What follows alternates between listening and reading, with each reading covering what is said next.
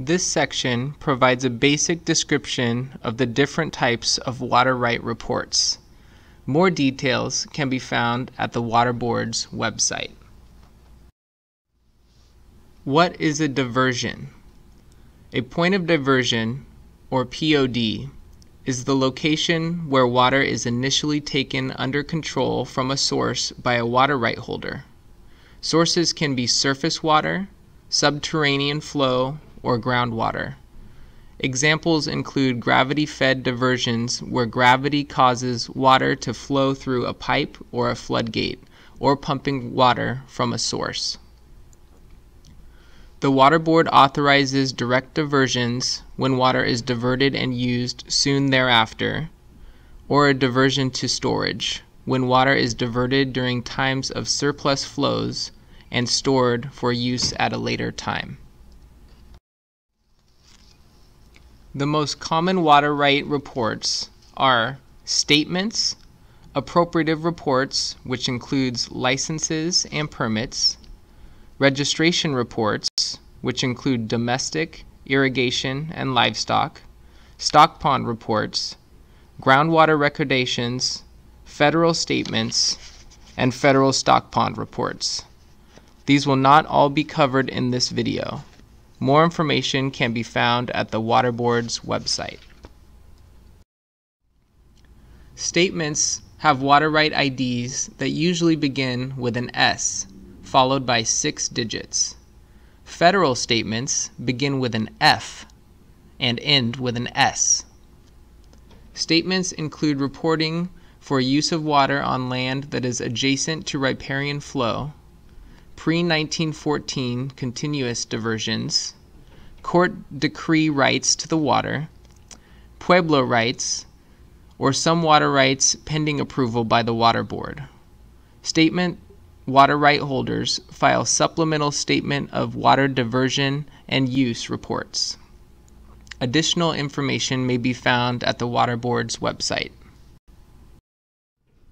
Licenses and permits are types of appropriative water rights. They can be identified by a water right ID beginning with an A, usually followed by six digits. Some licenses and permits have been split and will contain additional characters. Licenses and permits are agreements with the Water Board that include provisions such as when and how much water may be diverted, what the water may be used for, and where the water may be used. Often a permit is granted followed by a license. These water rights are generally for diversions that are greater than 10 acre feet of water per year. Appropriative water right users file progress reports for permittee or licensee to record their annual water diversions. Additional information may be found at the website listed. Registrations can be identified by a water right ID that begins with a D for small domestic registrations, H for small irrigation registrations, or an L for small livestock registrations, and followed by six digits. Registrations are agreements with the Water Board that include provisions such as when and how much water may be diverted, what the water may be used for, and where the water may be used. Registrations are generally for diversions of less than 10 acre feet of water per year. Registrants are issued a water rights certificate and file a report of registrant annually to record their water diversion. Additional information may be found at the website listed. Stock ponds can be identified by a water right ID that begins with a C and followed by six digits. Federal stock ponds begin with an F and end with a C.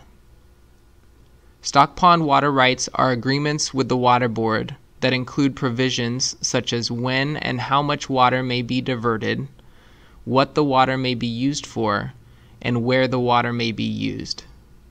Stock pond certificates have been phased out new stock pond users should apply for a livestock registration through the registrations program. Stock pond holders file a report of stock pond to record their annual water diversion. Additional information may be found at the website listed. Groundwater IDs begin with a G and are followed by six digits. The Water Board records the amounts of groundwater extracted by users in Ventura, Riverside, Los Angeles, and San Bernardino counties. Groundwater reporting is required in these counties for annual extractions that are greater than 25 acre feet total from multiple wells or 10 acre feet from a single well. Groundwater filers use an annual report of groundwater extraction and diversion to record their water extraction. Additional information may be found at the website listed. This concludes the background video on types of water rights. Please see the Water Board videos to access RMS, the report management system, and stay in compliance with your type of water right. Thank you for watching.